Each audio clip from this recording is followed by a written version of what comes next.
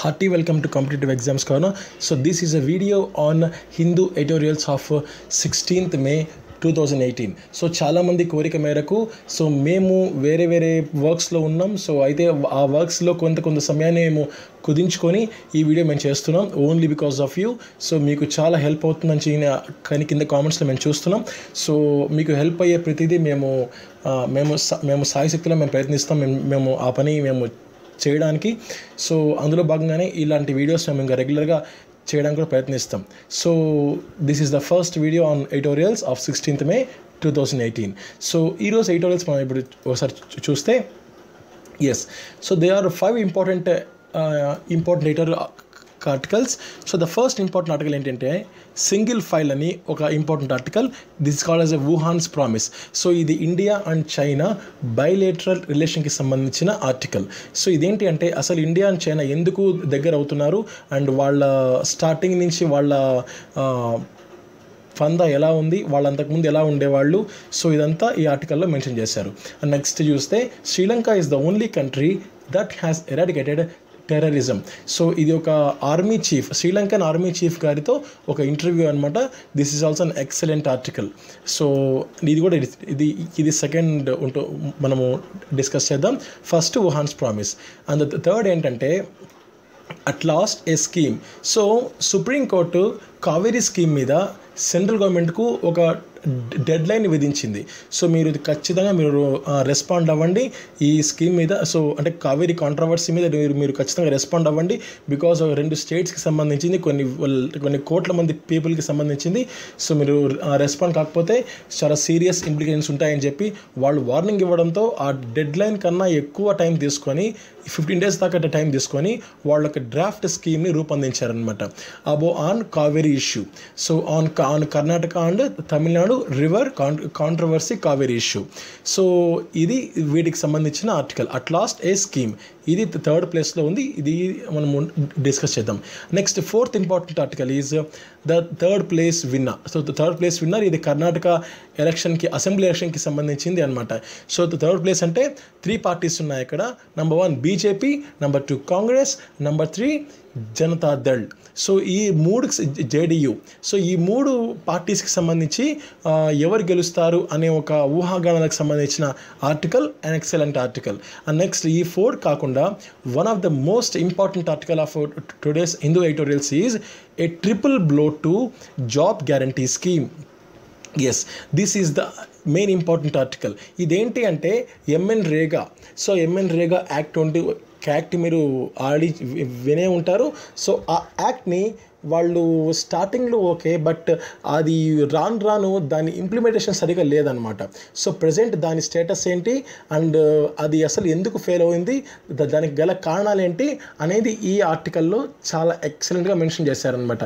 so this is the most important article ఈరోజు ఏంటి అంటే ఈ triple blow to job guarantee scheme that is the most important article so ఇది మనము లాస్ట్లో డిస్కస్ చేద్దాం. సో ద ఫస్ట్ వచ్చి Wuhan's promise yes Wuhan's promise so మనకు మెయిన్గా ఇండియా అండ్ చైనాకి సంబంధించి మనము వాళ్ళ బయలెటర్ రిలేషన్కి మనము ముందు నుంచి అబ్జర్వ్ చేస్తూ వస్తే సో వాళ్ళు చాలా ఆపర్చునిటీస్ని మిస్ చేసుకున్నారు. ఏ పరంగా అంటే బయలేటరల్ రిలేషన్కి సంబంధించి. సో అంటే ఏదైనా ఒక మీటింగ్స్ సంబంధించి ఒక సమ్మిట్స్కి సంబంధించి వాళ్ళు పాల్గొనే విష విషయంలో వస్తే సో ఒకరు ఒకరుంటే ఇంకొకరు ఉండలేని పరిస్థితి. సో అలా కొన్ని కొన్ని ఆపర్చునిటీస్ని వాళ్ళు మిస్ చేసుకున్నారు. సో వాళ్ళు ఫాల్స్గా స్టార్ట్ చేశారనమాట రిలేషన్షిప్ని సో అలా టోటల్ అంటే మెయిన్ చూస్తే హాల్ మార్క్స్ ఏంటి అంటే మిస్డ్ ఆపర్చునిటీస్ వాళ్ళు చాలా ఆపర్చునిటీస్ని మిస్ చేసుకున్నారు. అండ్ నైన్టీన్ ఫిఫ్టీలో వాళ్ళిద్దరి ఆ రెండు కంట్రీస్ మధ్య బ్రదర్లీ ఫ్రెండ్షిప్ ఉండేది. అంటే ఒక అన్నదమ్ములకి సంబంధించిన అంత సంబంధం ఆ రెండు కంట్రీస్ మధ్య ఉండేదన్నమాట. సో నెహ్రూ గారు and chairperson of communist party of China Mao Zedong so వాళ్ళిద్దరూ ఏంటంటే చాలా ఒద్దిగ్గా ఉండేవాళ్ళు అండ్ వాళ్ళిద్దరూ కలిసి ఏషియాని రీడిఫైన్ చేయాలనే ఆలోచనలో ఉండేవాళ్ళు. సో రియే ఏషియాని రీడిఫైన్ చేయడం అంటే ఏంటి? సో అంటే నైపుణ్యం పరంగా వృత్తిపరంగా నెక్స్ట్ ఆర్థిక పరంగా టోటల్ ఏషియానంతా వాళ్ళొక న్యూ అంటే ఎట్లంటే ఒక రీడిఫైన్ అంటే కొత్తగా మలచాలని చాలా వాళ్ళు ఆలోచన పడ్డారు అయితే మధ్యలో వచ్చిన మనస్పర్ధల కారణంగా వాళ్ళు నైన్టీన్ సిక్స్టీ టూలో ఒక పెద్ద యుద్ధం సంభవించింది. నెక్స్ట్ అది పక్కన పెడితే అదొక పార్ట్. నెక్స్ట్ ఏప్రిల్ రీసెంట్గా జరిగిన ఏప్రిల్లో వుహాన్ వుహాన్ అనే వుహాన్లో may yield a more bountiful harvest so ఆ ఇద్దరు లీడర్స్ మధ్య రీసెంట్గా జరిగిన ఈ వుహాన్ మీటింగ్లో ఏప్రిల్లో సో వాళ్ళిద్దరి మధ్య ఉన్న సంబంధాలు సో పాత జ్ఞాపకాలని గుర్తు తెచ్చే విధంగా ఉన్నాయన్నమాట. సో అయితే ఇక్కడ చైనాకు అండ్ యుఎస్కు మధ్య ట్రేడ్ వార్ కొనసాగుతుంది. So trade war between the US and the China. Wait yes so trade war between the China and the US so because US ఏంటంటే సో చైనాకు చైనా ఎదుగుదలని ఎట్లా అడ్డుకోవాలో ప్రణాళికలు రచిస్తూనే ఉంది. సో బికాస్ చైనాకు యుఎస్కు అస్సలు పండే పడదు. సో ఇదే ఇది- ఇదే కాక Beijing is also reengaging with Japan South Korea and ASEAN to make Asia the pivot of new wave of globalisation so ఇదే కాక జపాన్తో Beijing. So Beijing South Korea కలిసి వాళ్ళు ఒక ఏషియా అనే ఒక న్యూ గ్లోబలైజేషన్గా వాళ్ళు తీర్చిదిద్దాలని వాళ్ళ ఆలోచనతో ఉన్నారనమాట సో అంటే ఈ చైనాతో జపాన్ అండ్ సౌత్ కొరియా ఇద్దరు ఈ రెండు కంట్రీస్ కలిసి వాళ్ళతో ఉన్నారనమాట సో వాళ్ళిద్దరు కలిసి ఏ టోటల్ ఏషియాని వాళ్ళు తీర్చిదిద్దాలని వాళ్ళు ఆశిస్తున్నారు. ఇదే కాక Japan South Korea and China కలిసి ఒక ట్రైలిటరల్ సమ్మిట్. సో వాళ్ళిద్దరు కలిసి వాళ్ళ ముగ్గురు కలిసి ట్రైలిటరల్ సమ్మిట్ కూడా వాళ్ళు స్టార్ట్ చేయబోతున్నారు. So this is an excellent article about the Wuhan's promise. ఇది సో ఇది వుహాన్స్ ప్రామిస్ ఏంటి అంటే ఇండియా అండ్ చైనా ఇంతవరకు జరిగింది వేరు ఇకపై నుంచి వేరు. బికాజ్ మోడీ గారు అండ్ నెక్స్ట్ అక్కడ Xi Jinping of China's president వాళ్ళిద్దరూ కలిసిన కలిసిన సంభాషణ మేరకు వాళ్ళు ఒక పాజిటివ్ స్టార్ట్ని ఇవ్వబోతున్నారు. అండ్ ఇదే కాక నెక్స్ట్ రాబోయే ఎస్సీఓ మీటింగ్లో కానీ and next switch next next ఉండబోయే మీటింగ్స్లో కానీ వాళ్ళిద్దరూ కలిసి హోస్ట్ చేయబోతున్నారు చాలా చాలా మీటింగ్స్లో. సో ఇవన్నీ మనం అబ్జర్వ్ చేసుకుంటే సో ఆ ఇద్దరు కంట్రీస్ ఒక పాజిటివ్ వేలో వెళ్తున్నాయని చెప్పి ఖచ్చితంగా మనము చెప్పచ్చు అనమాట సో ఇదే కాక ఏషియా పసిఫిక్లో మనము ట్రేడ్ అగ్రిమెంట్స్ అన్నీ ఒకసారి ఒక లుక్ వేసుకుంటే so ఎఫ్టీఏఏపీలో Hong Kong SAR Papua New Guinea Russia Taiwan ఉన్నాయి. నెక్స్ట్ అంటే ఎఫ్టీఏఏపీలో ఈ ఎల్లో సర్కిల్ అన్నీ కవర్ అవుతాయి అన్నమాట. నెక్స్ట్ ఆర్సీఈపీలో రెడ్ సర్కిల్ అంతా. నెక్స్ట్ టీపీపీలో బ్లూ సర్కిల్ అంతా. సో అలా మీరు అర్థం చేసుకోవాలి. So India is in the RCEP so RCEP అంటే regional comprehensive economic partnership so this is the one of the important image అనమాట సో మీరు కుదిరితే స్క్రీన్ షాట్ తీసుకోండి. So next within the with the 2019 polls ahead mr modi is under pressure to show that his make in india campaign as a saleable at home. So uh, make in India scheme ఏంటి అంటే ప్రతి ప్రతి item ఇండియాలోనే ఇండియాలోనే అది manufacture కావాలి. So that is called that is the main objective of make in India scheme so ఆ make in India స్కీమ్లో భాగంగా అది ఆ మేక్ ఇన్ ఇండియా స్కీమ్ని ఇంప్లిమెంట్ చేయడంలో మోడీ గారు ఆయన చాలా ఒత్తిడిలో ఉన్నారనమాట సో రెండు వేల పంతొమ్మిది పోల్స్ ఇంతకు నెక్స్ట్ రాబోతున్నాయి.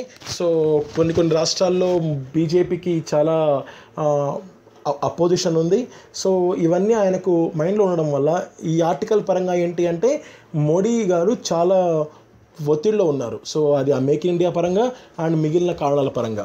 So China late entry with the billions of dollars of investments in India and decision to open its own market in India pharma and IT products.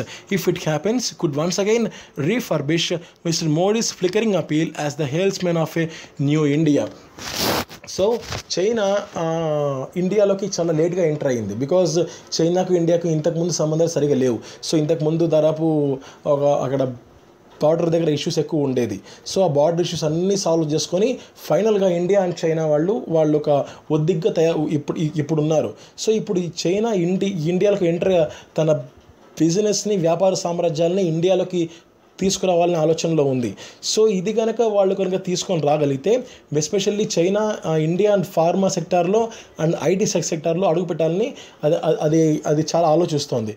So అది కనుక జరిగితే దెన్ మోడీ గారి fate మారిపోతుందని చెప్పి ఈ article మనకు చెప్తోందనమాట so this is the main important article and the next important article is about the Sri Lankan army chief ఆయనతో interview so ఆయనతో ఆయన ఇంటర్వ్యూకి సంబంధించిన ఇంపార్టెంట్ పాయింట్స్ అన్ని నేను ఇప్పుడు మీతో డిస్కస్ చేస్తున్నా. As Sri Lankan army had been a traditional army a ceremonial army back in the nineteen seventies and nineteen eighties so nineteen seventies నుంచి ఎయిటీస్ నుంచి చాలా ఒక సెరిమోనియల్ ఆర్మీ అని చెప్తే అంటే ఒక మోస్ట్ సక్సెస్ఫుల్ ఆర్మీ అని చెప్పి ఆయన వాళ్ళ ఆర్మీ గురించి ఆయన ఎక్స్ప్లెయిన్ చేస్తున్నాడు. And army expanded to face the challenges and threats that, that came in the way of countries' territorial integrity and internal security. So, territorial integrity అంటే బార్డర్స్ పరంగా వాళ్ళు ఎక్కడ ఎలా ఎలా ఉండాలో అక్కడ చేసే పని అండ్ ఇంటర్నల్ సెక్యూరిటీ శ్రీలంకలో నెక్స్ట్ ఇన్బిల్ట్గా లోపల ఉండే సెక్యూరిటీ సో అన్ని కన్నిటి పరంగా మేము చాలా ఛాలెంజెస్ని ఫేస్ చేయడానికి అండ్ uh, మా ఆర్మీని చాలా ఎక్స్పాండ్ చేశామని చెప్పి ఆయన చెప్తున్నాడు. అండ్ ఇదే కాక ఎంటైర్ వరల్డ్ మ్యాప్లో ఎంటైర్ వరల్డ్ మ్యాప్లో అండ్ వరల్డ్లో టెర్రరిజం అనే వర్డ్ని కంప్లీట్గా తుడిచి పారేసింది. ఎరాడికేట్ చేసిన ఏకైక కంట్రీ శ్రీలంక అని చెప్పి ఈ ఆర్టికల్లో ఆయన ఎక్స్ప్లెయిన్ చేశాడు అనమాట so Sri Lanka is the one and only country to world map that has eradicate eradicated terrorism from its soil so అసలు భూగం ఆ శ్రీలంకలో టెర్రరిజం అనేది లేకుండా చేసామని చెప్పి అని చెప్తున్నారు. So we are a victorious army so వాళ్ళ ఆర్మీ గురించి విక్టోరియస్గా ఆయన చెప్తున్నారు అనమాట అండ్ ఇదే కాక as an army commander I'm not under pressure from my minister the president and the prime minister that means politicalization uh, of the armed forces has been brutalized is very minimal అంటే political leaders ఎప్పుడు కూడా army వాళ్ళ విధుల్లో involve అవ్వకూడదు so involve అవుతే so చాలా pressures face చేయాల్సి వస్తుంది అండ్ మనము వర్క్ని సరిగా చేయలేని పరిస్థితి సో ఆ ప- పరిస్థితి శ్రీలంకలో మాకు కనపడదు. సో మేము అసలు ఎటువంటి ప్రెషర్స్లో లేము. పైన వాళ్ళు ఆర్మీ వాళ్ళ వన్ వాళ్ళ వర్క్స్లో అసలు ఇన్వాల్వ్మెంట్ కార్ అని చెప్పి ఆయన చెప్తున్నాడు అనమాట అందుకే అంత సక్సెస్ఫుల్గా ఉంది. So the arm forces deployed in north are the only organisations we have the capacity to perform so the our biggest neighbour and the best friend is India so India India is the best friend and the biggest neighbour అని చెప్పి ఆయన Indian పొగిడాడు. And ఇదే కాక India Pakistan and Chinese and US so వాళ్ళతో మేము కొన్ని కొన్ని ఎక్సైఎస్ కూడా మేము మేము participate ఇవ్వబోతున్నాం and we believe we are a good strength of SAARC whether it is economically or militarily because we are neutral so మేము సార్క్కి సంబంధించి ఒక పెద్ద బలంగా మేము మేము అనుకుంటున్నామని చెప్పి ఆయన చెప్పాడు అనమాట so these are the important points regarding the Sri Lankan army chief interview so next చూస్తే at last a scheme so finally Karnataka elections is over so ఎందుకు అంటే సుప్రీంకోర్ట్ సెంట్రల్ గవర్నమెంట్ని వెంటనే కావేరీ డిస్ప్యూట్కి సంబంధించి కావేరీ కాంట్రవర్సీకి సంబంధించి మీరు ఒక నిర్ణయాన్ని వెంటనే వెల్లడించండి అని చెప్పి వాళ్ళు చెప్పారనమాట సో చెప్పడం వెంటనే supreme central government Karnataka elections మీద కాన్సన్ట్రేట్ చేసి ఈ వీటిని పక్కన పెట్టింది. సో ఈ కావేరీ డి కావేరీ రివర్కి సంబంధించిన కాంట్రవర్సీని ఆ గొడవని పక్కన పెట్టేసింది. సో అయితే కర్ణాటక ఎలక్షన్స్కి సంబంధించి ఎలక్షన్ అయిపోయిన వెంటనే ఆ ఎలక్షన్ అయిపోవడం నెక్స్ట్ రిజల్ట్స్ రావడం ఈ మధ్యలో ఎలక్షన్స్ నుంచి రిజల్ట్స్ ఈ మధ్యలో సో సుప్రీం కోర్టులోకి వెళ్ళి యూనియన్ గవర్నమెంట్కి సంబంధించిన వ్యక్తి ఒక స్కీమ్ని ఇచ్చారు. ఆ స్కీమ్ పేరే డ్రాఫ్ట్ స్కీమ్. ఆ డ్రాఫ్ట్ స్కీమ్ ఏంటి అంటే as final decision on apportioning Kaveri waters among the riparian states అంటే ఆ స్టేట్స్లో భూగర్భ స్టేట్స్లో ఆ వాటర్ ఎవరెవరికి ఎంతెంత ఎంతెంత వస్తుందని వాళ్ళు డివైడ్ చేసి ఒక స్కీమ్ని ఫామ్ చేశారనమాట అది మెయిన్గా టూ టైర్ ఉంటుంది. సో అంటే రెండు విధాలుగా ఉంటుంది. Apex body charged with the power to an complaints with the final award and regulation committee with will monitor field situation and water flow so apex body ఉంటుంది. అది ఎందుకు అంటే కంప్లైన్స్ సో ఎవరెవరు ఖచ్చితంగా పని ఎలా పనిచేస్తున్నారని చెప్పేది apex body and next regulation చూస్తే రెగ్యులేషన్ కమిటీ ఏంటి అంటే field situation and water flow so ఎక్కడెక్కడ ఏదేది ఎక్కడెక్కడ ఎంతెంత వదలాలి అనేది మానిటర్ చేస్తుంది regulation committee so next so the, its powers to would, would extend to apportionment, regulation, control of covery waters, supervision of operations, and reservoirs, regulation of water releases. So ఇవన్నీ కలిపి regulation committee చేస్తుంది అనమాట and next this is an ambitious clause if the authority finds that any one of the states is not cooperative it can seek the centre's help The centre's decision will be final and binding. So ఇది ambiguous class అని ఎందుకు అంటున్నారంటే ఇది purely state గవర్నమెంట్కి సంబంధించిన ఒక ఇదనమాట ఇదన్నమాట. సో స్టేట్ స్టేట్ గవర్నమెంట్స్కి సంబంధించింది. సో దీంట్లో దీంట్లో సెంట్రల్ గవర్నమెంట్ మాటి మాటికి ఇన్వాల్వ్ కావడం చాలా వరకు మంచిది కాదు. సో ఇది ఒక నేను పర్సనల్గా చెప్తున్నది అండ్ ఈ ఆర్టికల్ పరంగా సో సెంట్రల్ గవర్నమెంట్ ఎప్పటికీ స్టేట్లో స్టేట్ మ్యాటర్స్లో ఇన్వాల్వ్ అవ్వ ఇన్వాల్వ్ కాకూడదండి. బికాజ్ అంటే పరిస్థితి చేయి దాటితే దెన్ uh, uh, ఖచ్చితంగా రావాల్సిందే. కానీ పరిస్థితి కంట్రోల్లో ఉన్నప్పుడు స్టేట్ చీఫ్ మినిస్టర్ వాళ్ళు చూసుకోవాలి. సో అందుకని ఇది ambiguous clause and it can seek the centre help centre's so ఒకవేళ ఎవరైనా సరే స్టేట్ కోఆపరేటివ్ చేయకపోతే వాళ్ళు సెంటర్స్ హెల్ప్ని అడగచ్చు and centre's decision will be final and binding so final ఉంటుంది అండ్ బైండింగ్ అంటే ఏంటి అంటే వాళ్ళు ఒకసారి చెప్తే ఖచ్చితంగా దానికి ఒప్పుకొని తీరాల్సిందే. అది బైండింగ్కి మీనింగ్ అండ్ ఫైనల్ అంటే ఏంటి అంటే సెంటర్ ఏదన్నా ఒక నిర్ణయాన్ని వాళ్ళు వాళ్ళు చెప్పాక దాని మీద అగైన్ సుప్రీంకోర్టుకి వెళ్ళాల్సి వస్తే సుప్రీంకోర్టు వాళ్ళు ఈ మనల్ని యాక్సెప్ట్ చేయరు. ఎందుకు అంటే వాళ్ళు చెప్పింది ఇంకా ఫైనల్ అనమాట అది దీనికి మీనింగ్ నెక్స్ట్ చూస్తే So it is vital that all stat- states accept a mechanism and that the authority itself adequate autonomy. And next, so వాళ్ళు ప్రతి ఒక్కరూ యాక్సెప్ట్ చేయాల్సిందే ఎందుకు అంటే వాళ్ళకు అడిక్వేట్ అటానమీ ఉంది. So next the most welcome future of the such mechanism is that an issue concerning livelihood of of thousands of farmers will be taken out of the political domain and interested to experts out of the political domain అంటే ఏంటి అంటే political leaders చేతుల్లో కాకుండా ఒక కొంతమంది experts చేతుల్లో ఈ మెకానిజంను ఉంచినందుకు ఇది ఒక మోస్ట్ వెల్కమ్ ఫ్యూచర్ అంటే మోస్ట్ పాజిటివ్ ఫ్యూచర్ అని చెప్పి ఈ ఆర్టికల్ మెన్షన్ చేస్తుంది. So next so third place winner this is the next article the third place winner so ఇది కర్ణాటక అసెంబ్లీ ఎలక్షన్కి సంబంధించిన ఎక్సలెంట్ ఆర్టికల్. సో దీనిలో Bharatiya BJP and Congress and Janata Dal Janata Dal. ఇది ఇది secular party. So ఈ మూడు కంట్రీస్కి ఈ మూడు సారీ వెరీ సారీ మూడు కంట్రీస్ కాదు. మూడు మూడు రీజనల్ పార్టీస్ కలిసి ఈ మూడు ఈ మూడు పొలిటికల్ పార్టీస్లో రెండు నేషనల్ పార్టీస్ ఒకటి రీజనల్ పార్టీ. సో ఈ మూడు పార్టీస్ కలిసి కర్ణాటకలో వాళ్ళు అసెంబ్లీ అసెంబ్లీ విజయం కోసము వాళ్ళు పోటీ పడుతున్నారు. Next what the BJP did to Congress in Manipur Goa and Meghalaya Congress is attempting to do BJP in Karnataka so BJP కాంగ్రెస్కి ఆ మణిపూర్ గోవాలో మేఘాలయలో వాళ్ళు చాలా గట్టి దెబ్బ తీశారు. In the same way Congress కూడా కర్ణాటకలో బీజేపీని అలాగే దెబ్బతీయాలని ఆలోచిస్తోంది. So only convention common sense dictate the actions of governor in a situation where no one party has a majority so ఎవరికీ మెజారిటీ లేకపోతే ఒక భారతీయ జనతా పార్టీకి కానీ కాంగ్రెస్కి కానీ జ- జనతా దళ్ పార్టీకి కానీ ఎవరికి కనుక మెజారిటీ రాకపోతే దెన్ ఆ స్టేట్ గవర్నర్ ఎవరైతే ఉంటారో ఆయన చెప్పిన ఆయన చెప్పిన మాటనే ఆయన ఏ చెప్తే అది శిలా శాసనం అనమాట సో ఆయన మాట ఖచ్చితంగా పాటించి తీరాల్సిందే. బికాస్ ఇక్కడ చూడండి so dictate the actions of governor so ఆ గవర్నర్ యాక్షన్స్ ఏవైతే ఉంటాయో అవి క్రూషియల్ అవుతాయన్నమాట. ఎవరికి మెజారిటీ రాకపోతే.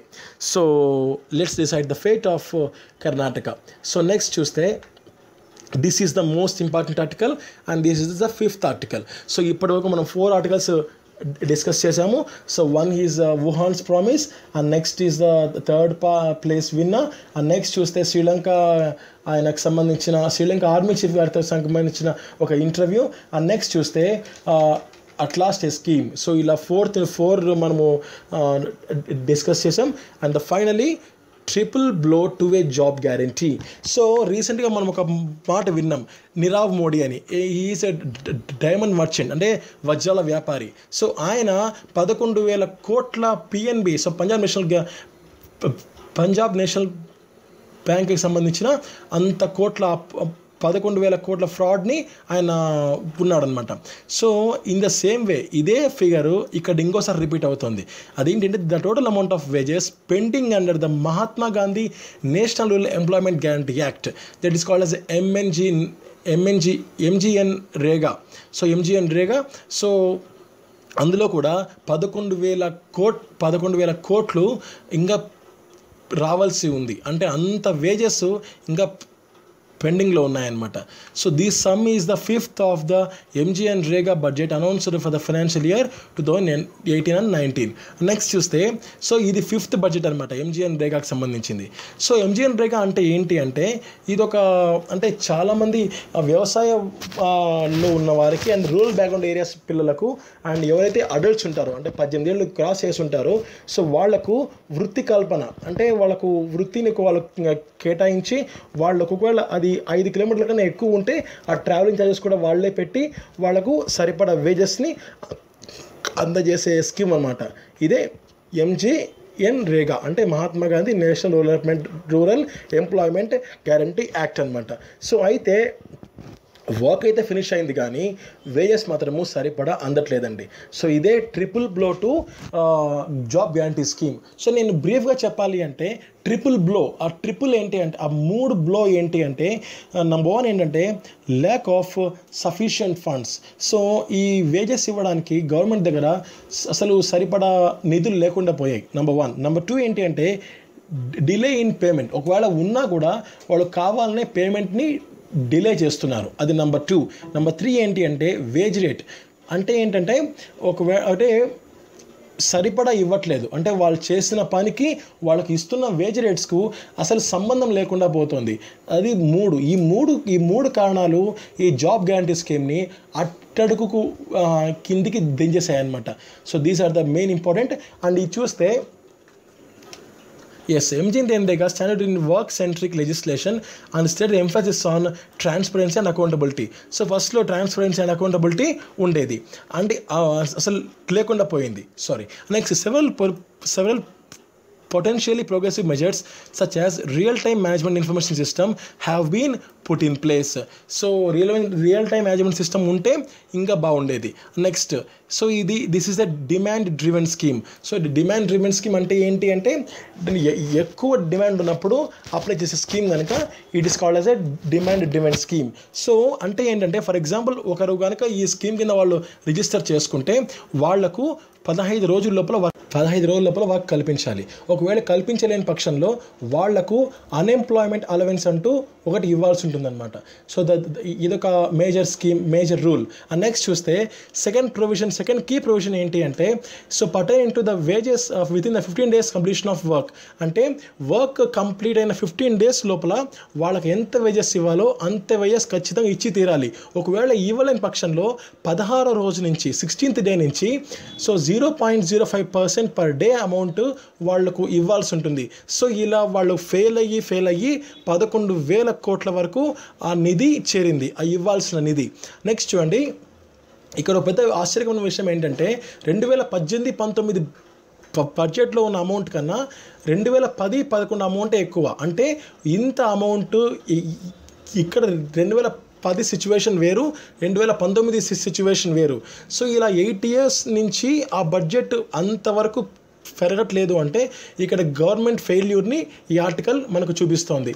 And by December of each year through a bottom up participatory planning approach every state submits a labour budget so labour బడ్జెట్ని ప్రతి స్టేటు సెంటర్కి సబ్మిట్ చేయాల్సి ఉంటుంది. సో లేబర్ బడ్జెట్ అంటే ఏంటి అంటే నెక్స్ట్ ఇయర్కి సంబంధించి లేబర్ డిమాండ్ ఎంత ఉంది ఆ స్టేట్కి సంబంధించి. సో ఎక్కడెక్కడ ఎంతెంత మంది వర్కర్స్ రావాలి. సో వాటికి సంబంధించి వాళ్ళొక లేబర్ బడ్జెట్ని వాళ్ళు ప్రిపేర్ చేస్తారనమాట ఆ లేబర్ బడ్జెట్ ఎక్కడ వాళ్ళు డిస్క్లోజ్ చేయరు. అంటే ఎక్కడ వాళ్ళు బయట పెట్టరు. ఓకే డైరెక్ట్గా సెంట్రల్ సెంట్రల్ వాళ్ళకు అది సెండ్ చేస్తారు. That is calls the labour budget and ఇక్కడ ఎన్ఈఎఫ్ఎంఎస్ గైడ్లైన్స్ విషయానికి వస్తే so management information system MIS వాళ్ళు ఏంటంటే will not allow states to generate more employment above the limits set to by agree to LB so ఇదేంటి అంటే for example Andhra Pradesh scheme మనకు సంబంధించి చూస్తే నూట యాభై మంది వర్కర్స్ మనకు కావాలనుకుంటే ఇండియా మన అది సెంట్రల్ గవర్నమెంట్ మాత్రము జస్ట్ ఓన్లీ యాభైకి సంబంధించి మన ఓన్లీ యాభై మాత్రమే వాళ్ళు కనుక వాళ్ళు రిస్ట్రిక్ట్ చేస్తే దెన్ దెన్ ఆంధ్రప్రదేశ్ గవర్నమెంట్ యాభైకే కుజించుకోవాల్సిన పరిస్థితి. అంటే వంద మందిని వాళ్ళు వాడుకోలేని పరిస్థితి. సో ఇది అదే ఇక్కడ చూడండి. So will not allow states to generate more employment above the limits set by agree to LB అంటే లిమిట్స్కు దాటి సో మనకు కావాల్సింది వన్ ఫిఫ్టీ వాళ్ళు లిమిట్స్ సెట్ చేసింది యాభై. అంటే యాభై ఒకటి కూడా మనము అలో చేసుకోలేం ఆ state government so that is the main important guideline of NEFMS and ఇక్కడ చూడండి లా most important point only twenty one percent of payments in two zero sixteen and seventeen and 32% of payments in first two quarters of financial year 17-18 were made on time.